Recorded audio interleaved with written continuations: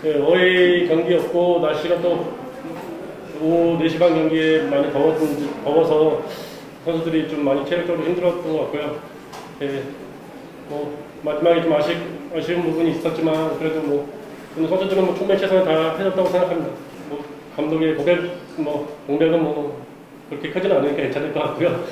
감독으로서 항의를 하, 해야 수, 되는 부분, 부분이었고 네, 뭐 이렇게 어떤 부분인지 확인하는 과정에서 조금 제가 뭐 많이 좀 이렇게 크게 나왔던 것 같아서 퇴장을 다했는데 그 부분에서는 뭐 제가 좀 자제를 했어야 되는지 않나 생각하고요. 어쨌든 심- 심판이 그 판단을 내렸기 때문에 예, 그건 어쩔 수 없다고 생각합니다.